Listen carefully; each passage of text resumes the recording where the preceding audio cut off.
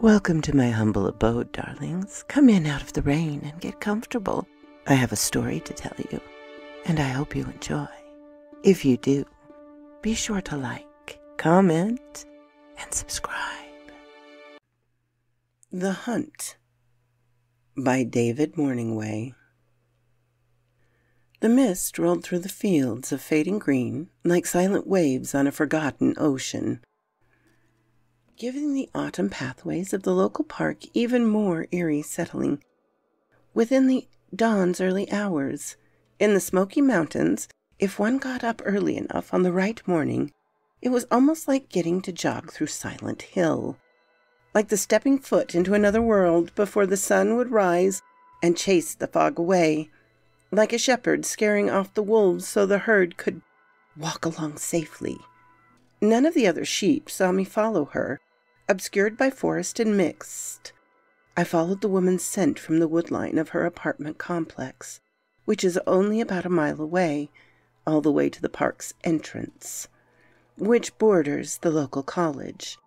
The convenient setup has delivered me several victims so far, most of which are naive young college students, just like little Jennifer here, who is now about a half a mile into her morning jog before class. I've been watching her for almost a fortnight now, and must wait until she hits the one mile mark before I move on her. For one mile, she reaches the peak performance level, and she will need every ounce of her strength if she is to survive my presence, and she must have somewhat of a chance. If the hunt is to be enjoyed, if there's not a chance for her to escape, then it's not a hunt, but simply killing. And that is not enough. Not for such graceful and beautiful prey. She's only about 500 yards away now, cutting through the mist, like a sentient blade with her perfect form and relentless speed. I begin to slowly unfurl myself from the image of man, breaking and reforming my bones and tendons as the facade of humanity melts away with the pink flesh around my rapidly expanding skeleton.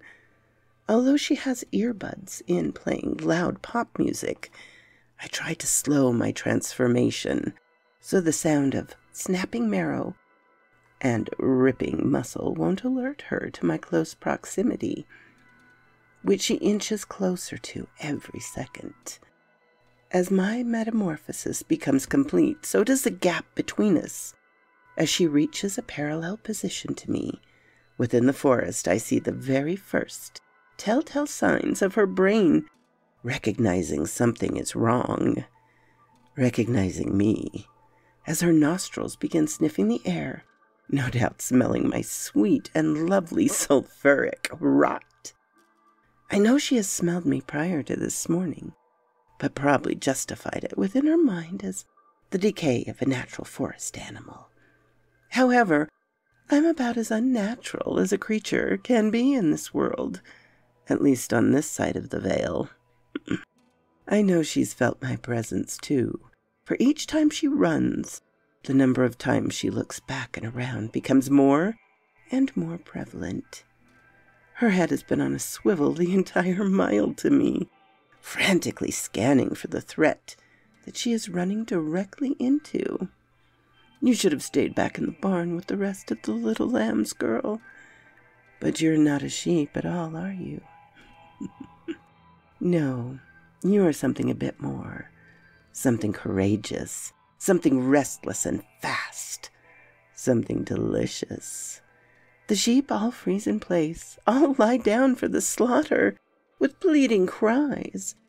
But you will be different. You will run away with practiced skill, fueled by desperate adrenaline. I can no longer hold back, no longer need to ask as I take my heavy step towards you from out of the woods. The fog thick with your sweat and fear, your scent parting up my nostril as the mists part around my advancing figure as I move slowly towards you with strained patience. Before you take in my full, horrific visage through the fog, you fulfill my greatest desire and run like you've never run before. Ah, thank you, Jennifer, I promise not to make you wait long. As she sprints off at a speed superior to most of her kind, I jump onto the gravel path and begin my pursuit, forcing myself to go slow before I can no longer take the manic excitement and begin to charging after her. She tries cutting through the field to make a shortcut towards the parking lot. But I knew she would, for I have planned this extensively and began turning through the field even before her. By the time she realizes her mistake, it was already too late. As she glances back, I was already reaching the pinnacle of my jump and pounced upon her before she could even consider a course of correction. As my jaw unhinged for the first exquisite taste, I thank her for her to return a fiery FU at me before I begin, a fighter down to her very last moments.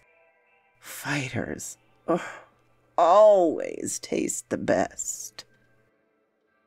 The dream woke me at precisely 3:33 a.m., as they always do, making me spring up out of bed so instantly that it almost felt violent as my breath pants, strong with still lingering adrenaline and sweat pours heavily, with slowly fading excitement and fear. As the implications of the dream ease into my consciousness, so does a smile gently warming its way up my face like a welcome sunrise.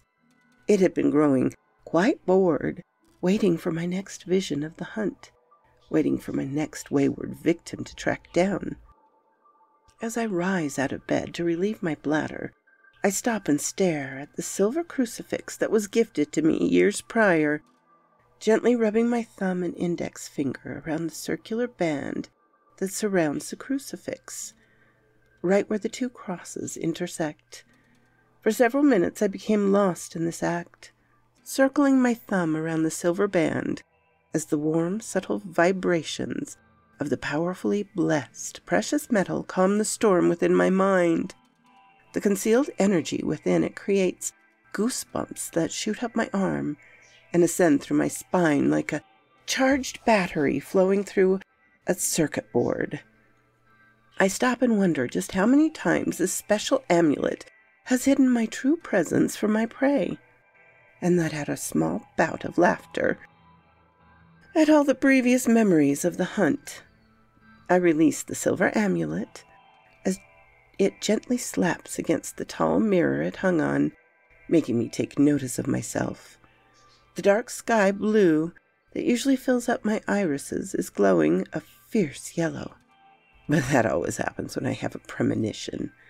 The dream drawing out the power within me, regardless of my level of control over it. I breathe in and out deeply as a vibrant yellow dulls, then transitions back to blue. How excited I am to find you, Jennifer. How truly happy I am to once again be the hunter. Don't worry. I promise not to make you wait long. I sigh deeply as the alarm snooze functions on my cell phone issues out loudly for the third time. My parents never allow me to sleep past the third sound of my alarm's five minute snooze delay, and it was a habit I kept through all three years of college so far.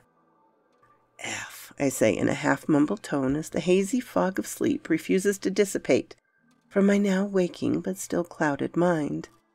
Although I had been doing fairly well at switching out of my morning caffeine for ginger and turmeric tonic, I have a full class schedule and need to get some cardio in after I do some pull ups and push ups. So I'm definitely going to have to approve some fresh brewed coffee, and quite immediately. A lot of my classmates are prescribed Adderall, or even use meth to enhance their motivation for such obstacles. And I would be lying if I said I had never tried to do the same before. Unfortunately. About three quarters of the way through my freshman year, I became overwhelmed, overworked, hyper anxious, depressed, spiritually lost, and pretty much any other negative side effect this world can throw at us at the hardest of times. And this unwanted blend of hopeless emotions led me to make some less than logical or safe life decisions.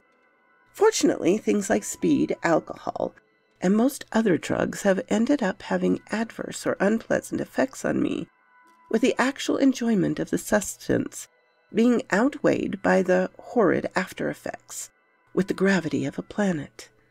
The ratio of enjoyment compared to then, feeling like rotten death after partaking, was never even close to bringing balance, with the latter always being far superior for me, and thus not being fun or worth it at all although I didn't want to be able to enjoy doing such obviously self destructive acts, it was still annoying seeing how others could sometimes functionally use this for their benefit while I had to fight tooth and nail with every ounce of my energy and willpower to even try to succeed.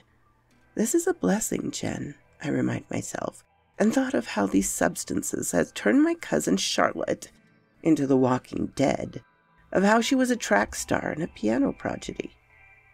And now she sells her body and robs storage units for drugs.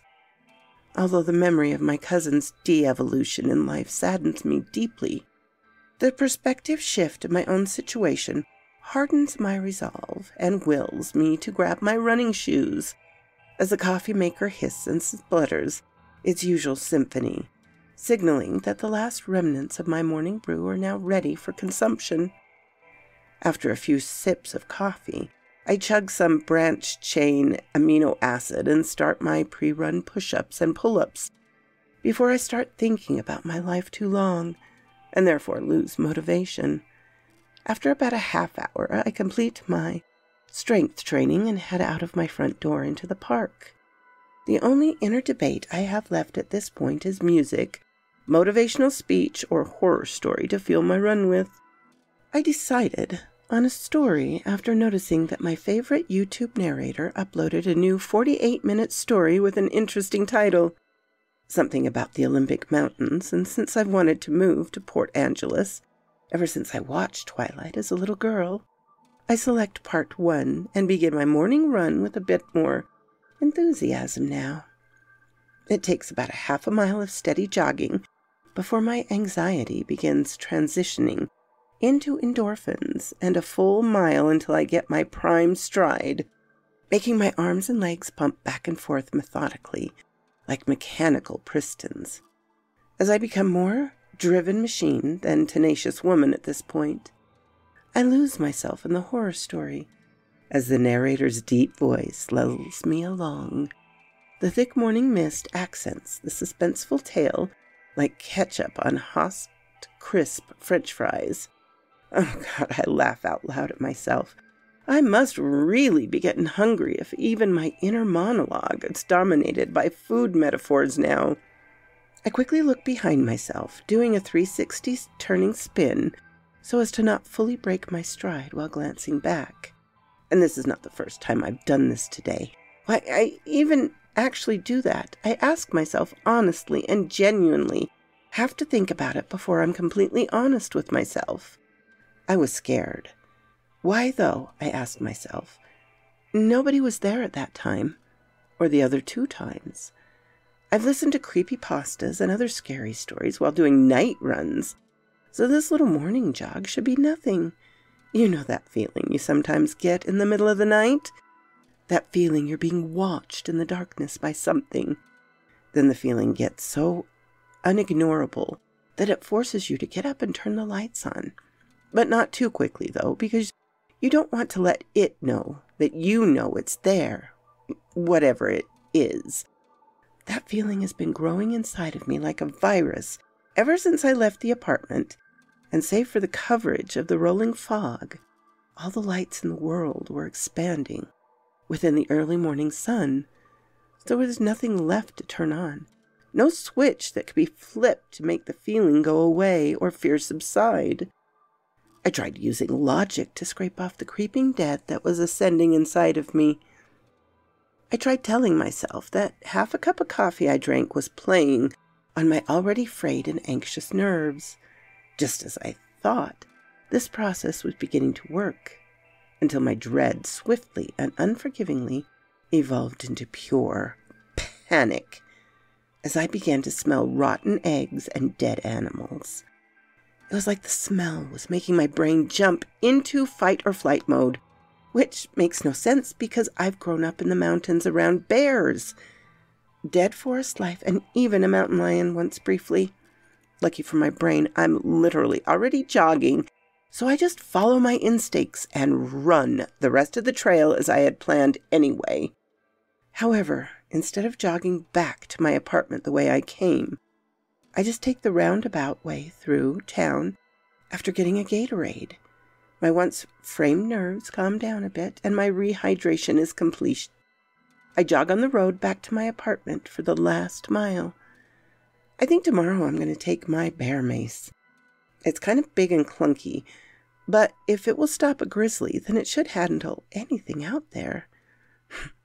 there I go, giving my fears away to nothing but the ether again, nothing but imagination and empty radio waves.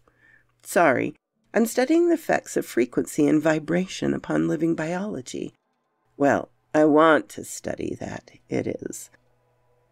After my basic credits are out of the way, I can transfer to a more prestigious university with a better science department, seeing as I turned the horror off. As needless panicking, I suppose I'll finish now on the way back to my apartment. I guess I've become a bit sensitive to caffeine after taking weeks off, and make the preemptive decision to switch back to ginger and turmeric tomorrow morning. I mean, it had to have just been the coffee working on the bad nerves. That's all I tell myself, unconvincingly. Okay, it wasn't the caffeine. It's been an entire 24 hours since yesterday's incident, and the exact thing happened on my run this morning. I began listening to part two of the story I began the day prior.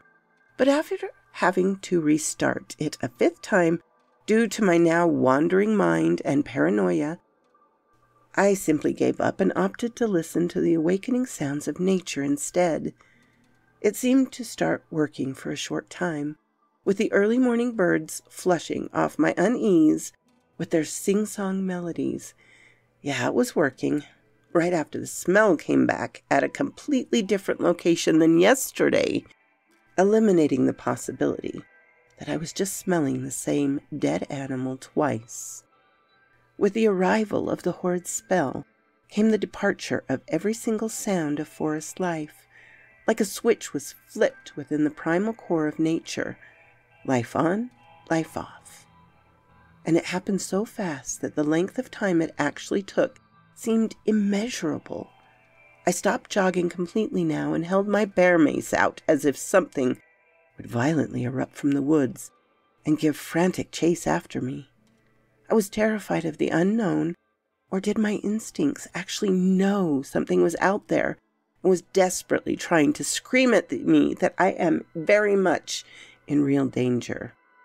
I ran the west of the way in a cautious, slow jog, my head turned back at random places whenever my nerves deemed it necessary. I walked all the way back through town, with the most recent incident overwhelming my train of thought. What the F is going on? I think to myself, like a desperate detective without a lead. All I know for sure is that if I am going to keep running, then I'm going to need something better than just bear mace. She's definitely the one, I say to myself, as the young woman jogs by, seemingly oblivious to my presence, let alone my true nature or what profound danger she is truly in. She does a quick spin turn whilst jogging, doing a fast check to see if anybody is behind her. She shouldn't have picked up the scent yet. Perhaps this one is a bit more tuned in for picking up paranormal or supernatural presences. Perhaps this one is special and more sensitive to feeling life forms from beyond the veil. And no doubt much more. As I see her nose twitch up and down as she squints her face, her aura changes, signaling to me that fear and anxiety are now bubbling to her surface. She just now picked up the scent confirming my suspicions. For a force deep within her genetics, her very soul alerted her to otherworldly danger before she even smelt the repugnant decaying rot that now permeates the air. The next morning she returned, seemingly both more aware and prepared to the paved gravel and grassy trails of the Greenway Park. She is obviously more alert now, looking around and unprompted at the misty forest scenery as she is being stalked. She stops completely this time and holds out a can of bear mace like a pistol, feverishly looking around in fearful anticipation of some attack. She is definitely sensitive. I step back a bit, letting myself take the big picture as I rub my silver crucifix with my thumb and index finger, making myself focus entirely so things don't play out too prematurely. She takes the public path back to her apartment through town, as she did the day prior, and I follow her closely from the sanctity of the forest the entire way. Since you don't have a concealed carry permit, you'll have to wear the holster uh, weapon outside of any clothing so it's not illegal, the pawn shop employee tells me in a thick southern accent. Though I, too, was raised in western North Carolina, my father trained himself not to have an accent after getting into real estate and dealing with rich, out of state clients. And my mother is from Huntington Beach, California, so I never really grew up with a southern twang like the vast majority of my friends. So is it legal to jog the Greenway Park with this thing flashing on my hip? I asked the employee, replying to his prior statement. Well, you'll most definitely get some sour or alarmed looks, maybe even a Karen or two giving you a how dare you speech. But you just ignore them. There aren't any signs prohibiting it. So you're 100% in your constitutional rights, and there's nothing them or the corrupt boys in blue can do about it, he says to me, more enthusiastically as he turns his hip and lightly taps the absolute cannon of a revolver he has on display. The boyish grin leaves his face shortly after, now being replaced by a look of cautionary hidden fear as he looks intensely into my eyes. A young girl like you should find a nice, safe gym to go jog in. The Greenway isn't always safe, especially for college students right now he tells me with genuine concern in his now lowered voice. How do you know I'm a student? And what are you implying by it's dangerous? Right now, I ask with subtle panic in my voice. I saw your college ID when you paid for the weapon. Plus, I had to run a mandated background check during the three day waiting period for approval. He says matter of factly. I apologize to the man, letting him know that I've been a bit on edge and jumpy lately. Listening, he says in an almost whisper as he leans across the glass counter and looks around carefully for any eavesdroppers before he begins. Have you experienced anything weird out there? he asks. Have you noticed anyone following you? Or just anything at all that would be reason for concern? He concludes. Yes, I say without even thinking. Um, I mean, it's nothing. I'm probably just being paranoid. Is it like you're being followed? Or smell something foul at the same time? All the forest critters go dead quiet? He asks, even more hushed now. Yes, I answered in an alarmed whisper. Have you experienced it too? What the hell is up with that? The man paused for a long moment, seeming to have some sort of inner conflict the kind of decisional turmoil someone has when they're keeping a secret that morally tears them apart. The man stays like this for a short time before he finally exhaled loudly and looked into my eyes. For the past six months, the township has found two dead college students killed by unidentified predators. Yeah, Missy Martin and James Caldwell. I say, interrupting the man with my pre existing knowledge. They found him up by Albert's Mountain, close to the abandoned fire watch. I think the paper said it was a bear attack or something. No, the man yells before quickly composing himself and once again lowers his voice. He looks out the door to see if any customers are about to come in before he continues. The bodies were found ripped to pieces just off the side trails of the Greenway. They moved him up to Albert's Mountain because it's a posted bear sanctuary, and the town didn't want to lose the presence of the tourists that pour into Greenway Park daily. Not to mention the park boulders, the brand new golf course, so they didn't want members going elsewhere, let alone lose more business the rich folks' pristine country clubs up in Highlands. The man started rubbing his face in the palms of his hand while sighing, a kind of gesture someone does when they are extremely tired or stressed out. Before letting go of his head and staring downward, like he was almost ashamed of something. I was there, you see, he began. They sought out volunteers, locals to help move the evidence and to not ask too many questions. The town even donated money to my shop. I guess so I'd keep my mouth shut, and I intended to do, too. Told myself that it was the right thing to do. How would we all catch the beast responsible and keep money flowing into the town with our silence? So we could all take care of our families. It's funny. The things you can compromise to do with a good enough excuse. How can you convince yourself that you're doing the right thing in the end? The man said, shaking his head still not able to re-establish eye contact with me. Here we are, though. No creature or predator caught in over six months. No leads, and now you are coming in here like this. Can't avoid it now. No room for compromise left in my soul. Just what needs to be done. What I should have done all along. I can't have yours or anyone else's blood on my hands again. Locals know something's fishy anyway. I mean, yeah, sure, Albert's Mountain is a black bear sanctuary. But in all my 58 years, not one person has been attacked up there. And now two kids in three months? I don't think so. People just don't want to think about the implications of all of this. So they pretend it's all right. Because the second they question it fully is the second things become real. And my dear, ignorance sometimes truly is bliss. Wait right here, he says, before walking into the back rooms of the store where they kept pawned and private goods. After about three or four minutes of hearing loud, shuffling sounds and the tinkling of metal, the man reappeared holding a bulky yet compact revolver and a Walmart grocery bag full of small, heavy boxes. That 9mm Beretta is a very good weapon, Hell, it's what our military uses, but it's not quite enough for bears, let alone anything bigger or potentially more dangerous, the man said.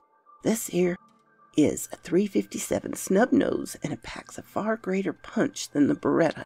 Plus, I replaced the standard rounds you wanted with high grain instead, giving it a more destructive power. I can't afford to, but the man cuts me off with a wave of his hands and a half smile. It's on the house he says while handing everything to me. One more thing, he says, before I can even properly thank him. Here he states, as he puts the revolver, autoloader down on the counter, already loaded with shiny chrome looking bullets. I had a few of these babies custom made for me by a friend after the first cover up. Even then, we knew something wasn't right. The teeth and claw marks didn't make any logical sense. I mean, they were canine, we knew that much. But the size and specific shape was impossible. The only scientific explanation was some sort of mutated dire wolf, if that managed to stay hidden throughout the ages, or an actual effing cryptid, although this idea was met with mockery when I brought it up, so there was no denying something unknown and extremely lethal was killing people without leaving a trace of evidence right smack in the middle of the local park. My friend, who also helped volunteer that day, didn't fully believe me, but couldn't fully deny it either. So we made up these special rounds in case the impossible was, well, possible. They're silver tipped, he says, answering the look of growing confusion displayed upon my face. I don't know what the hell is out there, but just maybe these'll help, he says, before wishing me luck as I exit the shop. I glance back into the store window before getting into my car. I can see the man praying now with his head bowed, closed eyes directed downward, in a tightly clasped hands as he nervously muttered something I cannot hear. What the F is going on in this town? I say to myself as I turn the ignition and start backing up, reluctantly trying to focus on my biology class in 20 minutes, instead of the impossible wilderness horror that is slowly encroaching upon my life.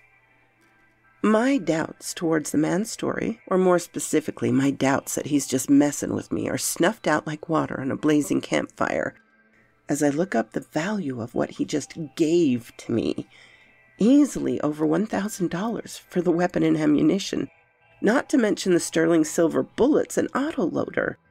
Whatever the truth is, he completely believes what he's saying, making me acknowledge it as fact even more than I already had.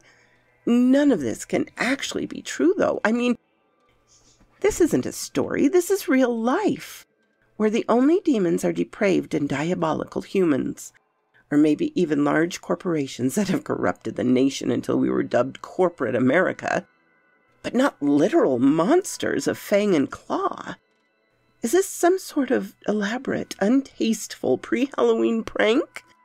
I mean, it is the month of October, but this town is more of we tolerate Halloween than actively promote it, let alone embracing the holiday to the point of the residents acting out a collaborative, unified plot that borders on sheer cruelty. Either way, it was becoming evident that something was most definitely wrong. Things are not progressing as they should, not following the natural order of events dictated by my premonition which is unheard of for me. Instead of the dream following the predetermined nature sequel of events, like the concrete, unwavering order of the universe, it's playing out more like a suggestion that can now be influenced by unknown elements outside of the realm of my control. Even act independently despite the shackles of our predetermined fate. There remains no doubt in my mind that she is very special. If she was born across the veil, she would most likely be a powerful force to be reckoned with by now. Her latent psychic potential has actually allowed her to alter the pre existing timeline and therefore mold the nature of the course of events, of reality herself, to her will. I doubt she even realized that she's doing so with her subconscious mind's primal defense mechanism tapping into her latent yet powerful potential. I'm going to have to watch her every second now to ensure she doesn't accidentally draw in other forces to foolishly come to her aid. They will all just get in the way. They won't understand what's truly happening. they can't comprehend the implications of my mere presence here, let alone the universal need and overwhelming desire to hunt my prey to end their foul and corruptive existence from the earth forever. As I watched the beginning of the rising sun, with futile effort trying to cut through the early morning fog like a spotlight in a hurricane, I stared curiously at myself in the mirror, hardly recognizing the battle maiden that gazed back into my emerald green eyes. I couldn't get back to sleep after a nightmare woke me up at 3:35 a.m a vision of a pale, humanoid hellhound of impossible height, and a handsome man with one blue eye and the other a glowing intense shade of yellow. So, capitalizing on my coursing adrenaline, I went ahead and did my morning push ups and pull ups before donning the tactical gear I bought from the Army surplus store the day after I visited the local pawn shop. I still can't get the employee's face out of my mind. With the 9mm strapped to my right hip, the 357 holstered under my left armpit, tactical combat knives fastened on my left chest, and right boot, mace in my cargo pocket, and a Bill Grylls parang machete on my back. I look like I'm about to go jogging through hell itself. I know there's something unholy and hungry awaiting me on my run this morning because something has already killed at least two people and has methodically been stalking me for over a week. So why go at all? You may be asking yourself. And it's a very good question. Ka, as Roland the Gunslinger from the Dark Tower series would say, which loosely translates to my destiny. All I know for certain is that I'm supposed to go out there this morning. An undeniable and powerful force has been pushing and steering me ever since I first became aware of the anomaly within Grinway Park. And although it strongly warns me of danger, it even more tenaciously alerts my soul to something else, something far greater and more deeply interwoven within my own personal fate. I've never felt anything like the aura of otherworldly power that has been slowly growing inside of me, ebbing and flowing with profound discharged energy, like a supercell storm, trying desperately to break free of its nimbostratus prison. I felt the manic balance of fear and excitement as I walked slowly to my front door, both preparing myself and embracing the feeling as I marched towards war, and all the glory and horror that came with it. I felt powerful, alive, and supremely driven in a way I have never before, like I've been living a half life of quiet desperation, to then be awoken by a universe itself, so it could reveal to me my true identity. That's what it feels like, you see. Like the old Jen had ceased to exist, had burned to ash within the asylum of her own problems and hateful turmoil, for a phoenix to then rise in her place, like becoming the paragon of what you are or ever could be. All I know for certain is that something powerful cries out to me, specifically with esoteric purpose, and I intend to answer that clarion call. I will go on this hunt. Cover your weapons as to not alert it to your potential, I heard a voice say, as it eased its way into my mind. Like a suggestive thought that gained more life and awareness with its every word. The voice was right. My chances of success will increase the more vulnerable I intentionally appear. I grabbed a dark green hooded raincoat from my closet one that went down past my knees so it would fully cover my weapons, and then downloaded a specific rife frequency to my phone. You see, ever since I had developed the psychic inclination that my foe was inherently canine, I thought to capitalize on a potential weakness. When I first started college, the stress and anxiety, well, blocked me up. After chugging a double dose of Miralax, I stumbled upon the rife frequency for constipation and thought to give it a try. The sound was annoyingly invasive, to say the very least, like a digitized version of nails scraping on a chalkboard.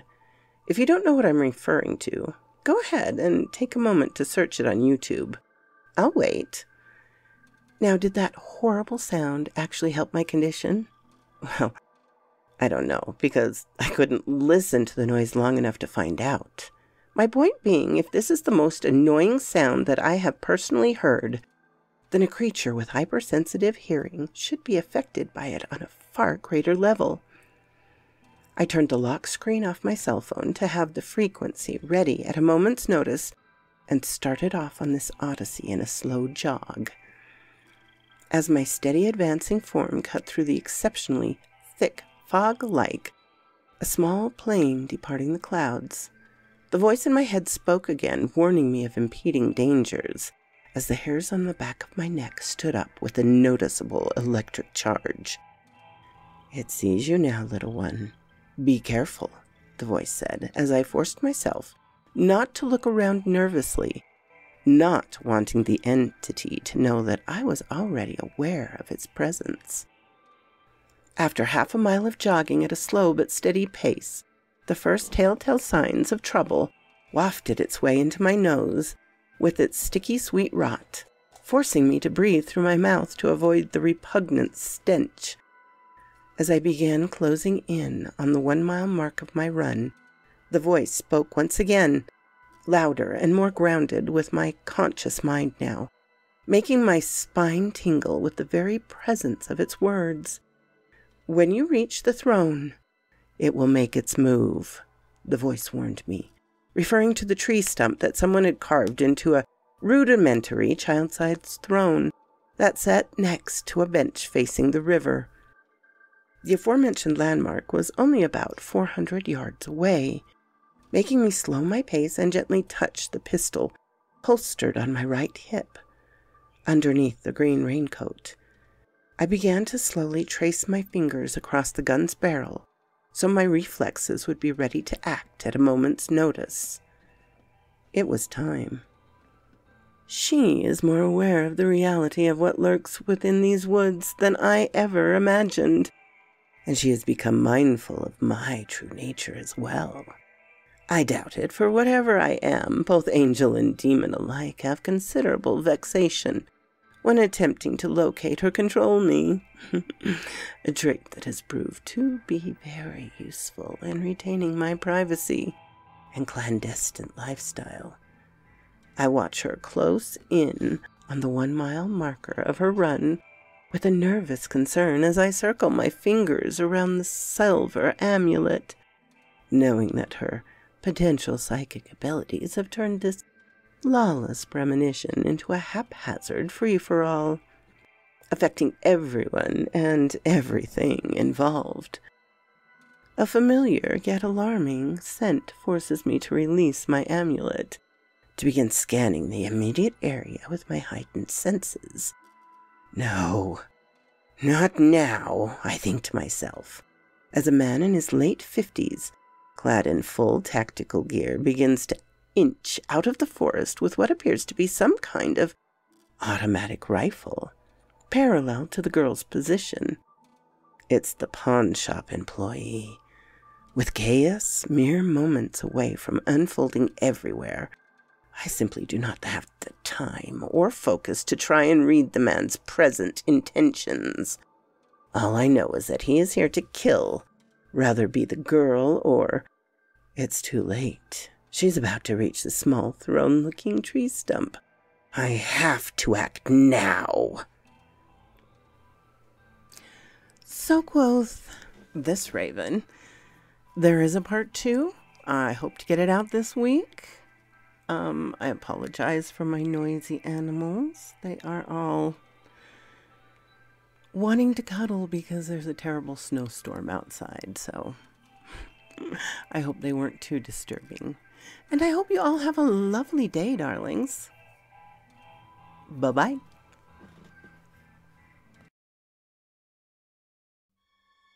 Thank you for stopping by, my darlings. It means so much. I so enjoy telling these stories for you. And here are some of my marvelous supporters. Please, if you haven't subscribed, consider doing so. If you give this video a like, it would help me out ever so much. Thank you, and have a lovely, lovely day.